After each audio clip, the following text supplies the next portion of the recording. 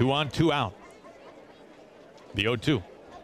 Swing destroyed. This is going to the tent city, baby. That is destroyed, clobbered, and gone. Oh my gosh. I mean, it's only spring training, but that. Two breaking balls. Tried a third breaking ball, middle in, and Oh. good night, everybody. That was vaporized. That was one of the quickest baseballs I've ever seen leave this Peoria Sports Complex. He gets a high five from his teammates, the two guys he just drove in, Noelvi Marte and Marcus Wilson. But that was a tee shot. There's a white tent way beyond the fence, way beyond the bullpen, beyond the walkway. There's fans out there. Hope somebody didn't get hurt.